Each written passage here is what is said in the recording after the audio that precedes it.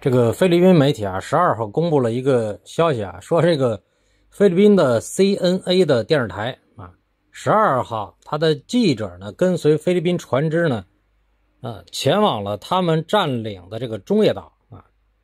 他本想展示一下菲律宾对中业岛的实际控制，同时也展示一下菲律宾对于南海拥有所谓的主权，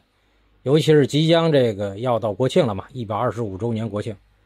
但是没有让人想到的是，这个菲律宾的记者啊，刚刚登上这个岛啊，菲律宾国内最大的电信运营商在这个中业岛向登岛这个记者发送的短信上面，赫然写着“欢迎来到中国”啊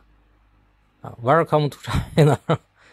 这个不仅仅是这个菲律宾记者收到这样短信啊，随这个这帮记者登岛的所有的菲律宾人都收到了这样短信。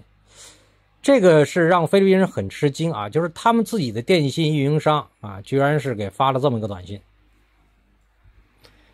啊！这他们就怀疑啊，这里边可能是被中国黑了啊！菲律宾的 CNA 啊电视台报道说呢，该电视台的女记者跟随菲律宾渔民和游者啊游客一起在近日登上了菲律宾啊占据的这个中业岛。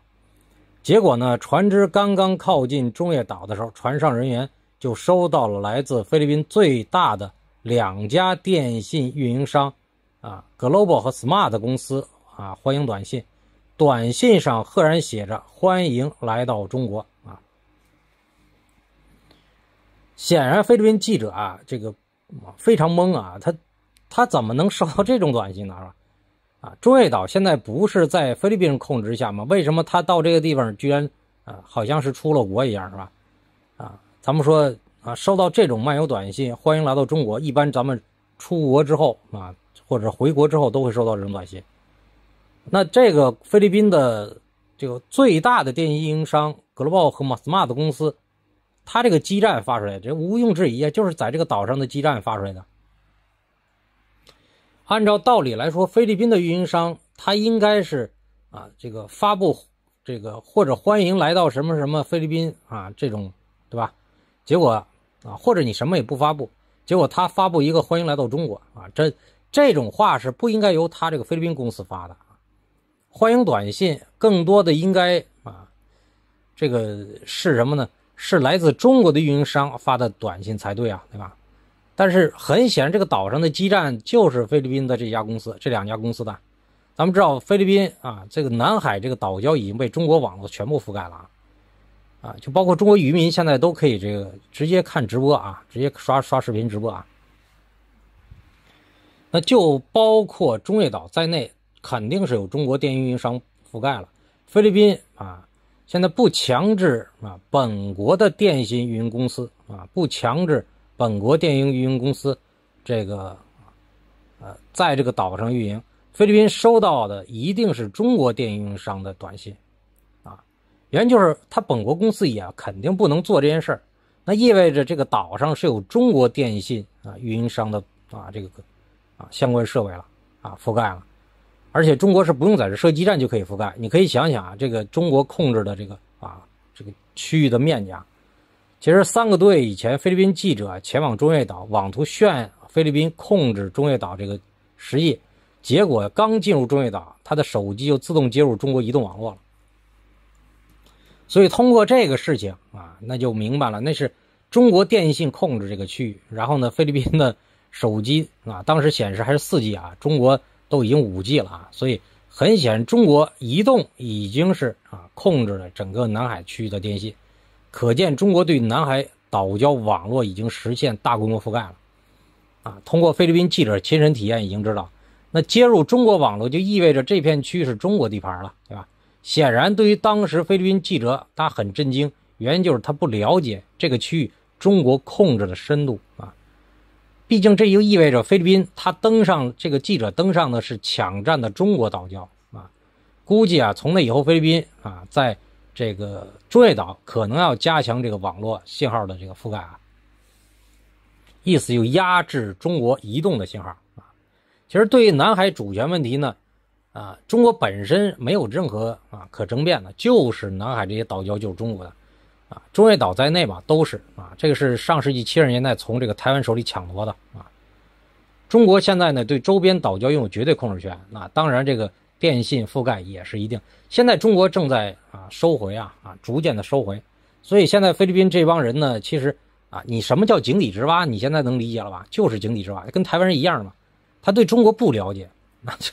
啊，所以才会有这种吃惊嘛，对吧？菲律宾方面啊，郁闷在于什么呢？他们的运营商在中越岛所发的短信，居然也能出现 “Welcome to China”，这让他们所有人都感到惊讶。也就是说，呃，他们认为可能这些啊，这个电信运营商被中国黑了等等，啊，搞错等等，但是其实并不是啊，啊，他们认为可能遭到网络攻击啊，啊，包括这个记者也在编这种啊这种新闻。其实菲律宾不知道的，就是这里边实际就是中国领土啊，你。来的这个领土，你只啊，你是什么？你是一直是靠你的非法手段。我相信中国，中国有能力在中越岛周边所有区域覆盖这个短信啊，啊，全都是欢迎来到中国。那么中国当然也，那你能把这个短信全部覆盖，也就意味着中国有能力让整个南海岛礁收回啊。咱们收回的这个制电磁权，现在中国已经完全控制了，对吧？菲律宾方面现在啊，这这些人我觉得是井底之蛙，就是他不了解现在中国的进步，也就说他不知道中国的实力，因为他一直受的是这个咱们说西方媒体这种啊丑对中国丑化这种报道，啊，现在这个连西方人看的那个啊都是二零零零年左右的中国的啊一些这个画面啊，所以你像他对中国人认知还是处在中国给人打工那阶段，就他做梦也想不到中国啊这个。这个能力的增强到这个份上啊，所以中国已经体现了自己的能力。那制电磁权、制海权、制空权，那接下来这片区域是谁的呢？对吧？大家想想，反过来说啊，菲律宾连最起码的它的这个基站网络都控制不了，被中国压制啊，就是你想想，他还能跟中国拼这个岛礁控制权吗？现在想都不用想。现在就是因为中国太仁义了啊，我觉得太仁义了。啊，只是在等待一天机会。菲律宾挑衅这帮记者，就是给中国一个借口啊，一个啊，最后把他们轰出去的一个借口，让他们继续作。未来这些岛礁是一定要收回的啊。呃，那咱们谈到了菲律宾一百二十五周年啊，这个马克思啊，他这个总统啊，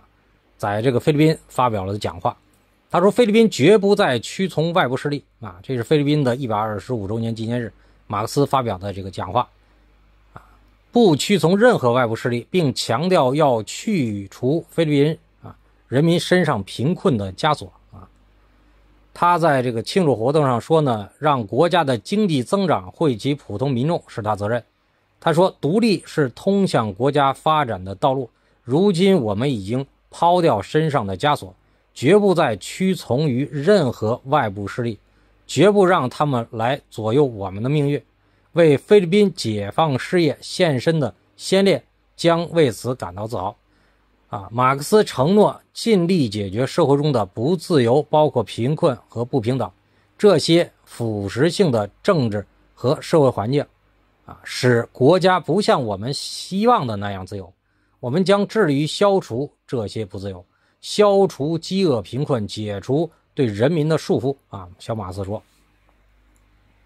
他说：“政府将执行明智的政策啊，包括菲律宾发展计划，以解决社会弊端。